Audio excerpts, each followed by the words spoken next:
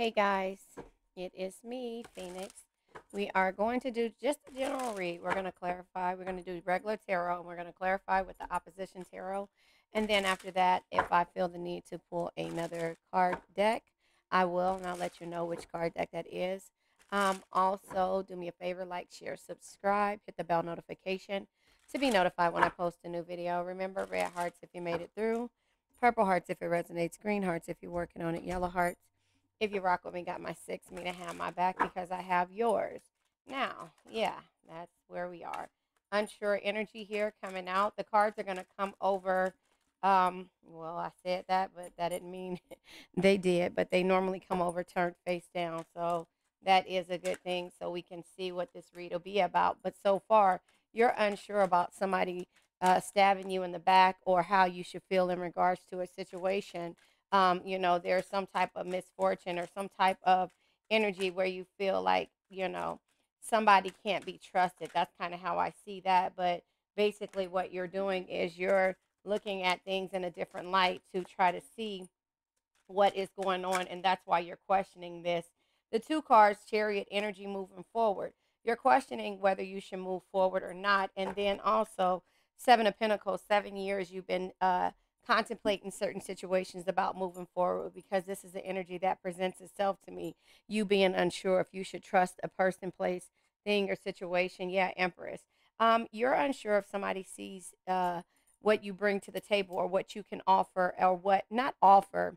Um, your abilities. Somebody is doubting your abilities. That's what it kind of seems like. Yeah, there has been some type of struggle, five of wands, and the burdens. El whoa and the insight and knowledge to know what's causing you to be sadness, sadness, to be sad.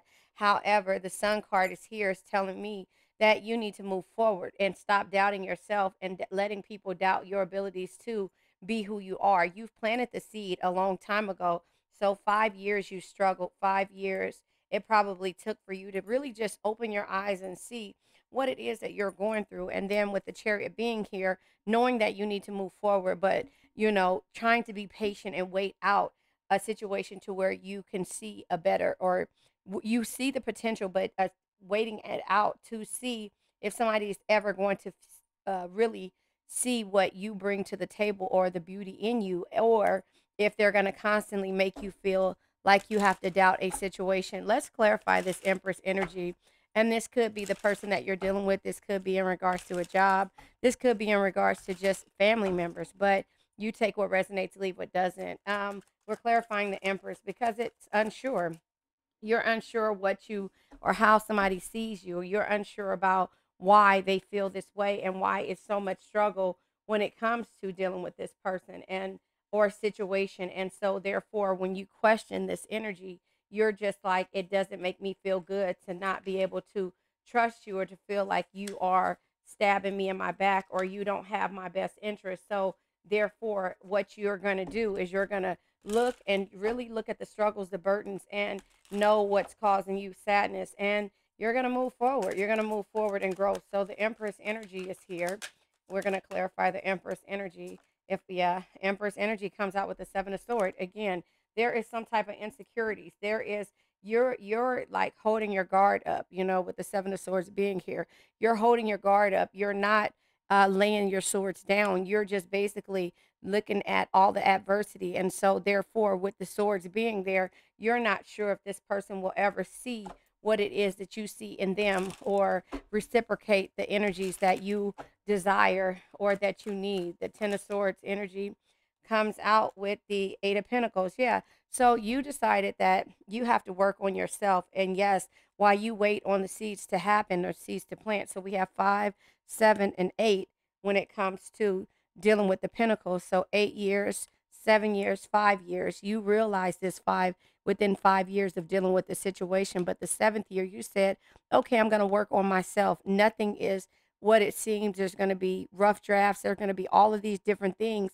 But I'm not going to doubt myself and I'm going to see things for what they really are and go from there. But, you know, when it comes to why you can't trust this situation, it's because you already know and it's sad and it's hurtful and you really just don't want to walk away ace of pentacles but you have to have the confidence and be able to start over every time you get to dealing with this this is eight plus seven. It could be seven, eight years, seven, and then you know you planted the seeds. You started really just working on yourself, or this could be 15 years of going through a process of understanding that this person is going to always be who they're going to be and the only thing you can do is change yourself and not them.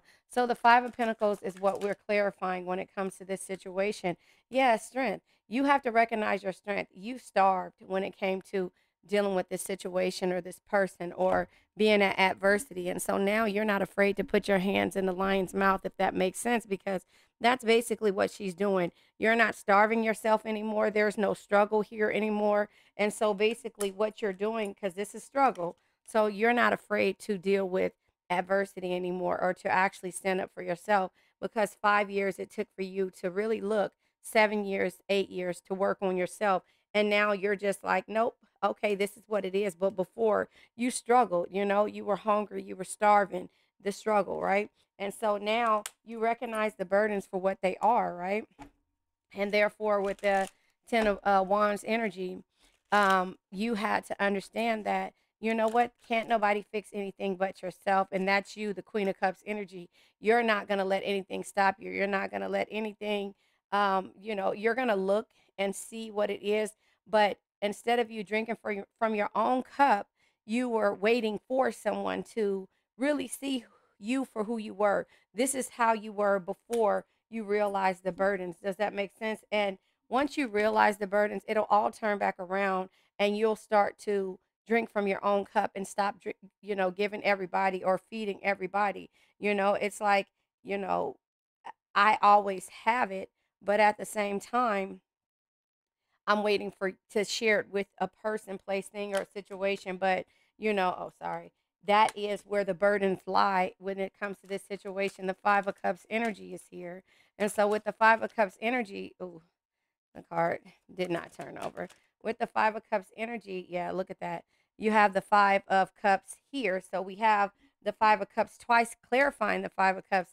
See, when you were in, um, you know, in denial, you know, you were happy. You were like, he loves me, he loves me not, or I'm going to make it through. And then also when you realize that you know you were waiting for this person you were willing to wait you were willing to wait for this person to change to understand but now that you have the insight and knowledge to know what's causing you sadness five of cups clarifying the five of cups you're not sad anymore you know you're not you know you're not in a point to where you know what's going on and now here it is you're happy in realizing that there was lessons out of this and that caused growth does that make sense? And so the sun energy comes out with unsure Queen of Pentacles.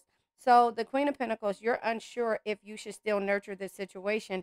And that is where this person is looking at you like, okay, they're not nurturing me. They're not doing anything. They're moving forward when I thought that it would always be this person would be here for me. And all what's happening is that you are not working with them. Their stuff is falling apart and you realize what it is. So the Queen of Pentacles energy, you know, uh, like JDS Tarot says, the Queen of Pentacles can be toxic to herself. And there was also a um, wording that I, when I was studying tarot, um, they say the Queen of Pentacles is a loving family, one of the greatest blessings in life, protect and care for them no matter what. That no matter what is a big thing when it comes to us seeing potential in people who we think should go the long distance with us or go the distance with us and when we wait. So this person is looking at you like where's where's cancer? But you've grown from this situation. Let's clarify the queen of pentacles comes with the nine of wands. You recognize the burdens and you recognize you know that you had to protect yourself. And so here it is.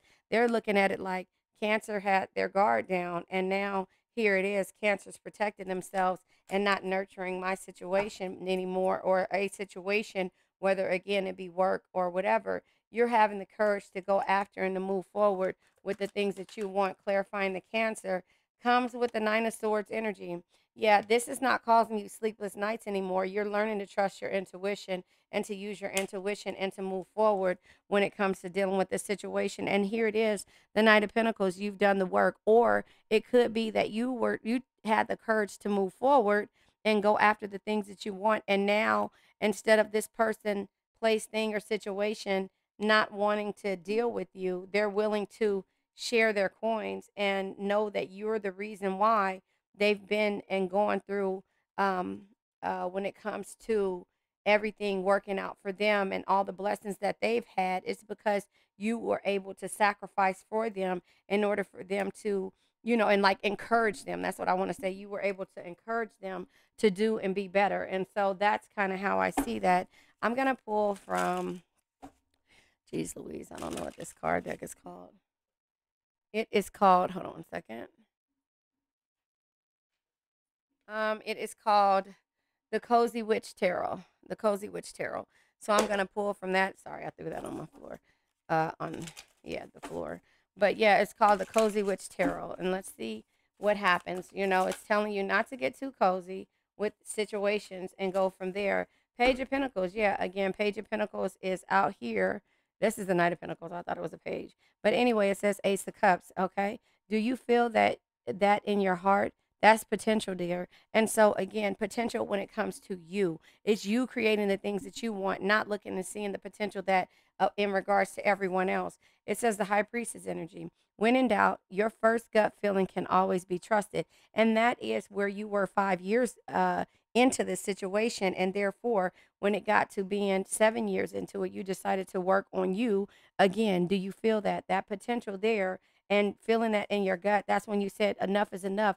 I need to work on myself. So, seven, eight years in order for you to get to where you're having growth and moving forward and trusting in yourself. The Four Cups energy, which is normally reaching a plateau bored, it says try not to be so picky, okay? So you weren't picky. You're just trying to have things to, um, the way that you you desire them to be and that is having the courage and somebody supporting you no matter if they agree or not and so you had to realize that you have to support yourself and sometimes, you know, you got to be able to take the chances and, you know, um, kiss a couple of frogs um, in order to be able to trust in yourself and your abilities. Does that make sense? And your intuition.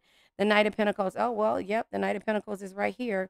It says, slow but surely, you're going places. And that's the movement that had to happen once you grew and learn to trust your intuition.